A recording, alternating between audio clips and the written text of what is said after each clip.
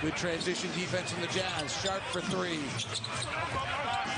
Followed back up and in by Walker. Career in the 22 games he played with the Jazz last year. That's after he was in Portland. And he didn't have great success in Portland. He came to Utah and really kind of found himself. I really think that he's going to end up being one of the Jazz, if not the best on-ball defender for the Jazz, especially in crunch time. Just the kick out.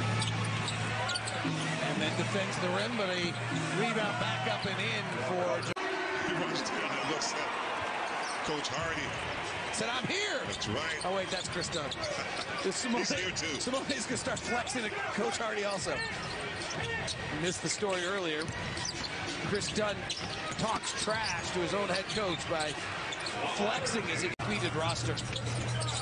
Jazz get something here execution-wise. I guess not, but Down to five-point lead, and the Blazers have it.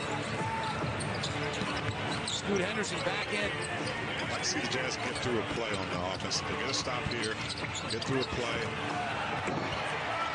Content with the 50th year. The Crews worked so, so hard and such an exciting team with so many unknowns and then a few knowns like Lauri Markkanen that make it all the more exciting every night, too, for Walker here. Coach, there are just not any poor teams in the league right now. And that's a great